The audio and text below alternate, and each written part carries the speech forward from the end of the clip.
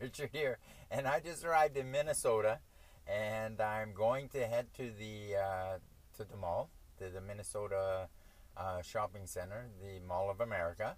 So I stopped in here to get to get the address to the shopping mall, and uh, to go to the washroom.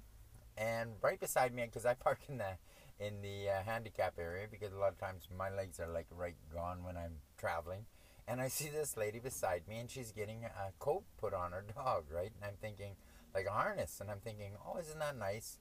Uh, like she's getting her seeing eye dog ready to go to the washroom so she can make it into the washroom.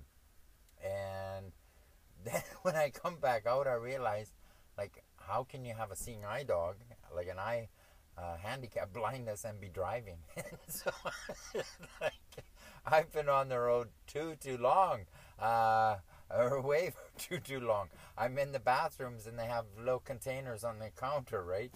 And my first impulse was to put a couple pesos in there, but because in Mexico that's what you do, but here it's it's was just to catch any dripping soap. Uh, so there's different things uh, that happen all the time when you're on the road.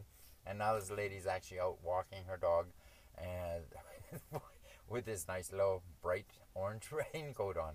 So I'm going to talk to you later. I'm heading off to the mall and we'll see what kind of adventures we have there. Uh, maybe, I don't know. Maybe we'll meet a Mexican there with a donkey. Who knows? Okay, we'll talk to you later. Bye.